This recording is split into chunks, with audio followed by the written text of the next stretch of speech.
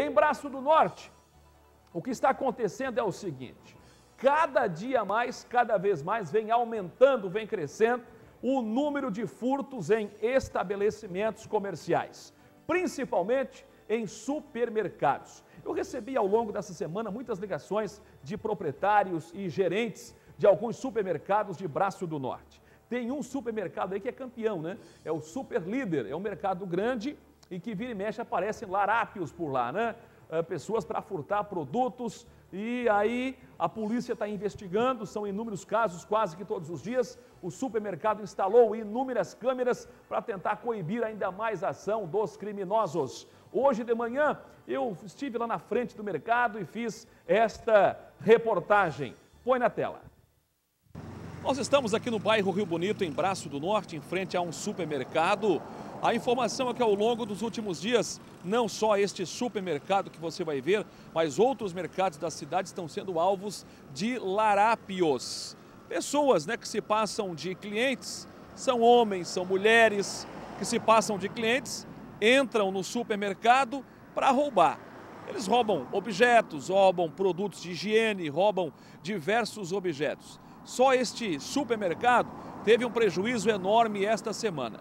Segundo informações, né, pessoas estão constantemente entrando, pegam um carrinho, pegam uma cesta e acabam então é, fingindo que estão comprando algum produto para roubar.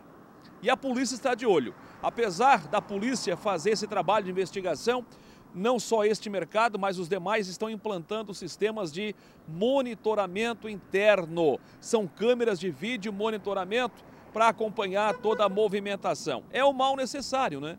Só este mercado aqui, o Cris vai mostrar, só este mercado que é o Super Líder, que fica no bairro Rio Bonito, em Braço do Norte, instalou nos últimos dias mais de 20 câmeras. A intenção é evitar o prejuízo o mercado gera imposto, gera renda, gera empregos e, claro, com um pouquinho que sai todos os dias, entra um, entra outro, acaba roubando, escondendo um produto na roupa, né, numa bolsa, e aí chega final do mês o rombo, o prejuízo é muito grande. Fico alerta a nossa região, fico alerta que quase que todos os mercados e lojas da cidade já estão disponibilizando deste sistema de segurança. São câmeras de vídeo monitoramento.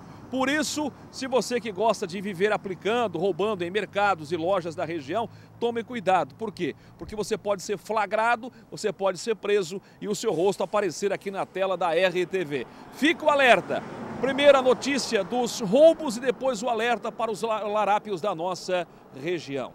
Muito bem, está aí a informação, né? Tome cuidado, você que é bandido, você que é larápio, né? Mãozinha boba, mãozinha leve, gosta de mexer no que é dos outros, tome cuidado porque a polícia está de olho. E, além do mais, né, muitos mercados, a maioria, aliás, dos mercados, já colocaram o sistema de vídeo monitoramento. Eu tô, eu tô louquinho para botar, eu tô louquinho para botar aqui, ó, a imagem desses vagabundos na tela. Eu tô louquinho, viu? Se eu já falei com o pessoal aí dos mercados, a hora que vocês filmar alguém roubando, bota para mim, manda para mim a imagem aqui, manda a imagem, manda a filmagem a foto aí da, dos vagabundos, eu quero botar aqui, ó, na tela para todo mundo ficar sabendo aqui da região quem são os mãos leves que estão roubando objetos. Tem que botar esta raça na cadeia, lugar de ladrão. Eu não tenho pena. Aonde é ladrão, traficante, assaltante, estuprador, é o tipo de gente que tem que levar é pau no lombo. Vai trabalhar. Como eu sempre falo, eu tenho pena é daquele pai, daquela mãe, daquele jovem não é que eu tenho pena, eu tenho respeito, né? Eu tenho respeito por aquele povo que pula cedo da cama para ir trabalhar, para ir estudar, para ter uma vida digna. Agora, esse tipo de gente aí que fica aprontando, roubando, traficando, tem que ir para a cadeia.